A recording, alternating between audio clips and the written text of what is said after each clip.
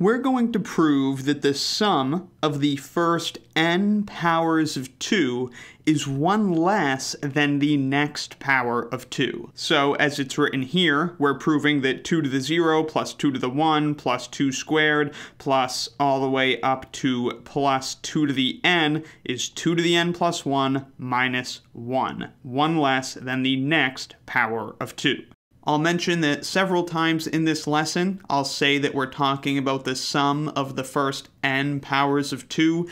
Just know that's a little sloppy because we are also including 2 to the power of 0, so technically we're talking about n plus 1 powers of 2, but we're adding 2 to the 0 plus 2 to the 1 up through 2 to the n. So I hope you'll understand what I mean when I say the sum of the first n powers of 2. We'll prove this using induction, and I definitely recommend giving it a try yourself before watching the rest of the lesson. This is right up there with as easy of an induction proof as you're going to get. Remember that every good induction proof begins with the basis step, where we prove our result is true for the first number of interest. Oftentimes, that first number is 1 or 0. In this case, it happens to be 0. So our claim is that 2 to the 0 should equal the next power of 2, which is 2 to the 1, minus 1. In the basis step, we have to verify that. Is it true?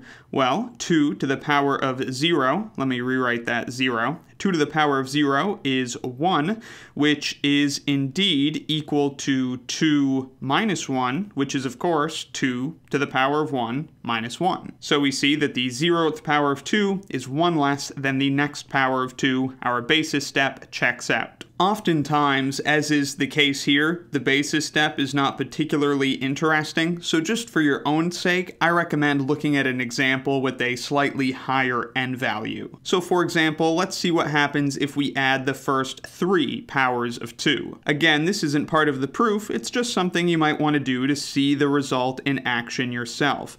2 to the 0 plus 2 to the 1 plus 2 squared. This is equal to 1 plus 2 plus 4, which is equal to 7, which you may notice is equal to 8 minus 1, which is indeed equal to 2 cubed minus 1. So again, we see if we add powers of 2 from 0 to 2, that's equal to the next power of 2 minus 1. All right, let's finish the proof with the induction step. Next, in the induction step, we assume that our result is true for some number of interest, some non-negative integer k. So we're assuming that 2 to the 0 plus 2 to the 1 up through plus 2 to the k is 1 less than the next power of 2. So 2 to the k plus 1 minus 1. We're assuming that's true for some non-negative integer k. We know that's a valid assumption because we already proved that it's true for some non-negative integer, in particular 0. And remember, in an induction proof, we want to use this induction hypothesis to prove that it must also be true for the next number.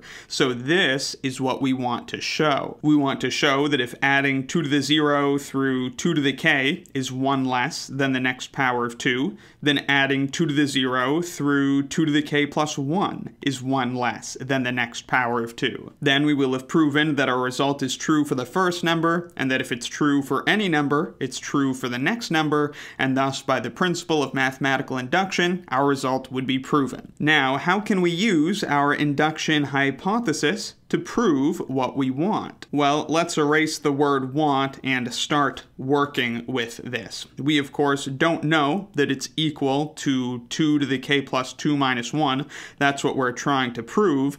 But we do know that this is equal to this which is 2 to the k plus 1 minus 1 by our induction hypothesis, plus 2 to the k plus 1. So by our induction hypothesis, this sum is equal to 2 to the k plus 1 minus 1 plus 2 to the k plus 1. Again, that's because this sum is equal to this, and then we have that extra 2 to the k plus 1. Then, working with this, addition is commutative, so we could bring the 2 to the k plus 1s together and write this as 2 to the k plus 1 plus 2 to the k plus 1. And then, of course, we have our minus 1 at the end. But then, 2 to the k plus 1 plus 2 to the k plus 1, another way we could write that is 2 times 2 to the k plus 1, because we have two copies of 2 to the k plus 1. And then again, don't forget the minus 1. But then we've got bases of 2 here getting multiplied together, so we can just add the exponents. This base of 2 has an exponent of 1, and this base of 2 has an exponent of k plus 1. And so conveniently, this is equal to 2 to the power of k plus 2 minus 1. And that's exactly what we wanted to show. We have that adding 2 to the 0 plus 2 to the 1 up through 2 to the k plus 1 is 1 less than the next power of 2. 2 to the k plus 2 minus 1. Thus, if our result is true for some non-negative integer, it must be true for the next non-negative integer. And so it's true for all non-negative integers. So that's the proof. The interesting thing about this is that it's an easy proof, but you know, we do have to prove it. If you write this result in our decimal system, it doesn't look obvious. It does need a proof. But if you were to write this in binary, a base 2 number system, it would be immediately obvious. For example, let's try adding the first 5 powers of 2 in binary. In binary, 2 to the 0 is just 1,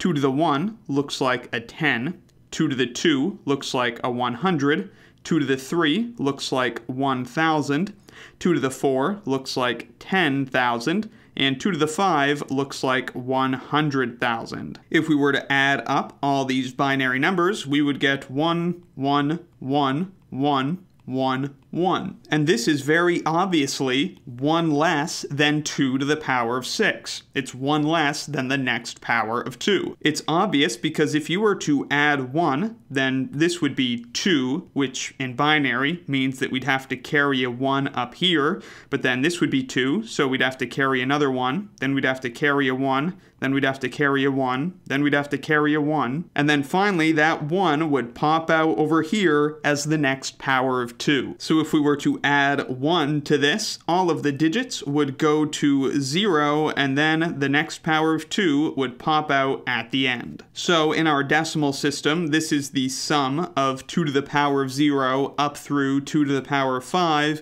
which is 63. And then this when we add 1 is 2 to the power of 6, which is 64. So I hope that helps you appreciate that this result isn't weird at all. It's very natural and very obvious if we just write it in a different number system. And I think that's pretty cool. cool.